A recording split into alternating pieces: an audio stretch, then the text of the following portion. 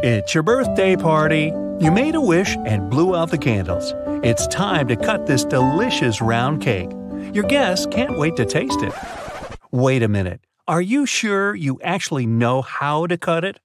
Normally, people prefer making V shaped slices by default. Although this method is very popular, it's far from perfect. Some guests won't get enough frosting, while others will get too much. And besides, cakes are pretty fragile, so crumbs can fall all over the place. This alternative method went viral because of its incredible practicality. All you need to do is press a large cutting board against the cake very gently. Then slice the cake across horizontally and move the long piece onto the cutting board. Now you can cut one big slice into several smaller slices for the guests. This will give them a chance to order exactly as much or as little dessert as they really want. Wait, who wants just a little dessert? You will also prevent the leftover cake from drying out too soon. And if someone asks for more, just keep repeating the cutting board trick as many times as you need to. If the number of guests at your party doesn't match the small size of your cake, there's an easy tip to make sure everyone's served.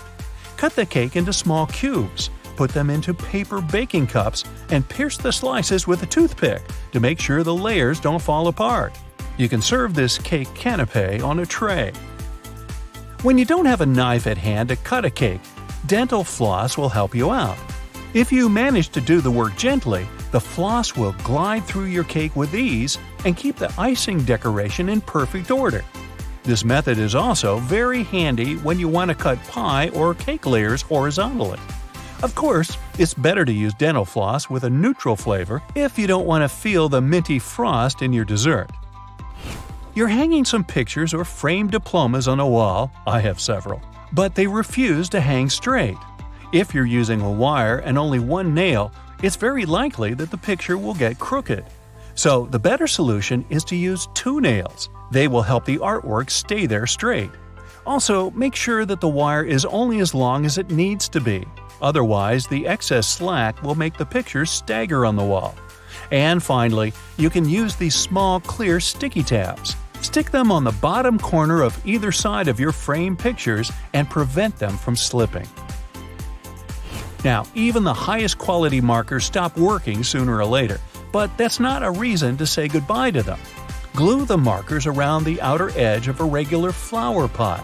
Then spray this construction with gold paint you'll get a glamorous vase that will spice up your interior. To complete this project, you can use not only a pot, but any other cylindrical vase or tin cans that match the size of your markers.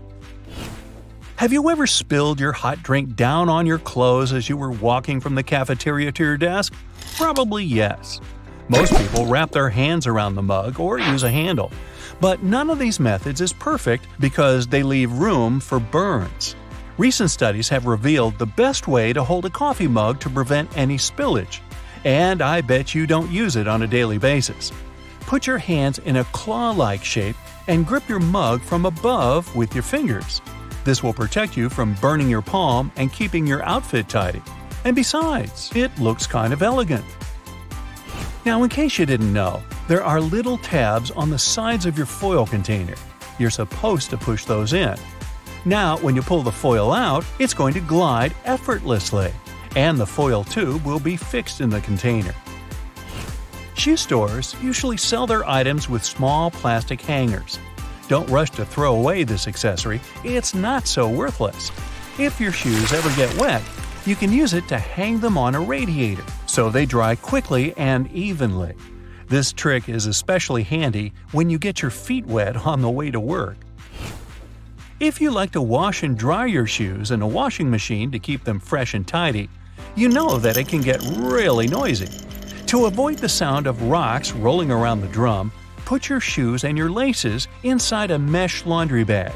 If you don't have a laundry bag, try using an empty pillowcase. You can also put a large old towel in the washing machine together with your shoes. It'll rub against the shoes and provide additional cleaning. Just make sure you don't wipe your face with this towel afterward. Glass cleaning spray is a great emergency tool to restore your patent leather shoes. Just spray it on your shoes and wipe them using a soft dry cloth. Voila! Shining bright like a diamond. Got some creases on your shoes? No panic. Stuff your shoes tightly with some fabric to bring them back to their original shape. Then put a damp towel over the crease. Gently steam the crease with an iron. It'll get softer or disappear completely. Here's a genius tip for storing and serving fresh herbs. Cut and mix different herbs, then put them in a plastic bottle. Screw the cap and keep it in your fridge. Now, you don't have to chop your herbs every time you're cooking something. You can also make an exclusive salad dressing. Just add some oil, spices, and sauce into this bottle and shake it to mix all the ingredients. When you're reheating your food in a microwave, some part of the meal gets too hot while the rest of it stays frosty. So, in case you've been looking for different tips to deal with this issue, here's the classic one. Put your food on a plate and make a hole in the center so that your meal is donut shaped. This way, the microwave will heat it more evenly. But don't put the dish in the center of the turntable. To heat it evenly, it's best to keep it on the outer edge. If you need to heat up two meals at the same time, put a clean upside down cup inside the microwave. Then put your second plate on top of that cup. There you go. It's easy and time saving. You can squeeze lemon juice out using ordinary kitchen tongs. Cut the lemon in half and put one half into the tongs. Now press them under a bowl to collect the juice. Add some water, sugar, and ice, and enjoy your lemonade. You're cooking popcorn in a microwave and can't wait to start watching the new episode of your favorite show. After one or two minutes of microwaving, little hard kernels still stay on the bottom of the popcorn bag. People tend to grab them by mistake. Biting these little betrayers can be fatal for your teeth. But luckily, there's a little slit in the bottom of the bag. Here's what you're supposed to do. When your popcorn is ready, don't rush to open the bag. Turn the bag upside down and shake it vigorously under a bowl. All the unpopped kernels will come out. Now you can enjoy your snack safely. If you have accidentally burnt the food on your stove and want to avoid dealing with fire detectors, here's a simple trick. One of the best ways to remove smoke quickly is to use a half-wet towel. Hold on to the dry side of the towel and keep flinging it around over your head. The damp part of the towel will absorb the solid particles in the smoke very quickly. And there's no need to use a knife to peel kiwi. Just cut off the top and the bottom of the kiwi. Then gently insert a tablespoon inside of the kiwi and twist it to separate the skin from the fruit. Wow, your kiwi is now peeled. However, some people prefer eating kiwi with skin. It's perfectly edible and provides lots of fiber, folate, and antioxidants. So, if you don't mind this fluffy texture, go ahead. But don't forget to wash it first.